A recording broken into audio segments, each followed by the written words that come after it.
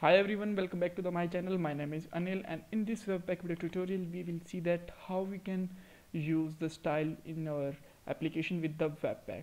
So if you did not watch our previous video because this is the continue series then you can get the link from the description box. Now let's come to the point so what is first we will see that what is the problem with the css why we cannot use css directly why we have to use the webpack in the js application right?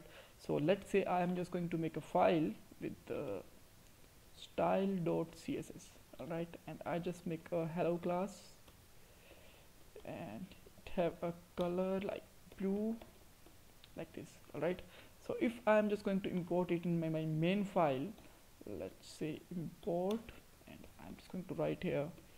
Style.css alright? And if I'm just going to run it start npm start then it will just give me an error alright? So let's come back here and you will see there is an error uh, in this file uh, module parse failed expected to token this and this because it cannot understand these things right what is that and how we can use it all right so js application cannot handle this. To tell that how you have to handle it we have to add some packages and we have to just add some configuration in the webpack file also right?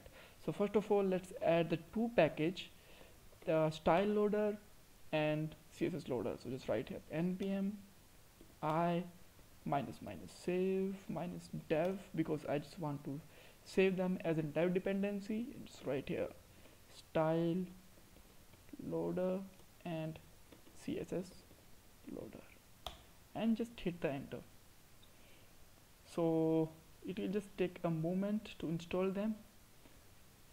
Uh, it's about to done. Yeah.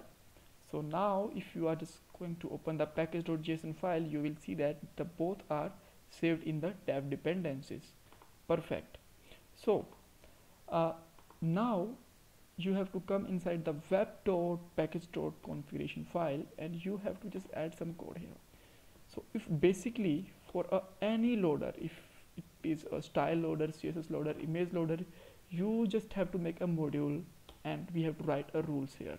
So let's make a module here and inside a module let's take an object and object will have a rules. All right so just write here rules and let's say you just want to add a style and you also want to add an image then you will have a two rules here right so every rule have a object. And in the every object we have the two properties. One is the test. Test will basically define here the extension of your file. Like uh, uh, for the style we use already uh, basically use the css so we can just put it like uh, this yep right and then the second property we will use. Use uh, will tell what uh, dev dependencies we have to apply for this test case. All right this test. This is not test case. For this test. All right so for that we can just tell them uh, we can use a style loader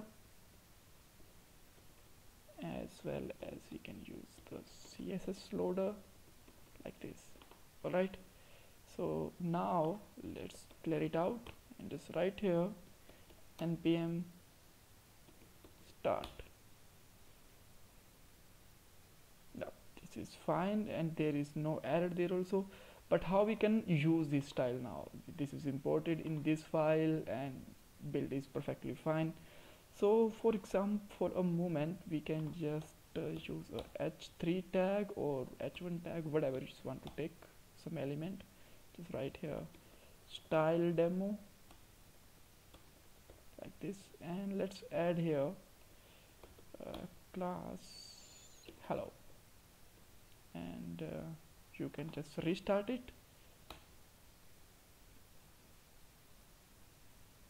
And now you can see that style is applied on this uh, h3 tag. So if you still have any kind of confusion you can ask me in the comment box. Don't forget to subscribe my channel and the upcoming video. We will see that how we can uh, use the images with this loader. Alright so bye bye take care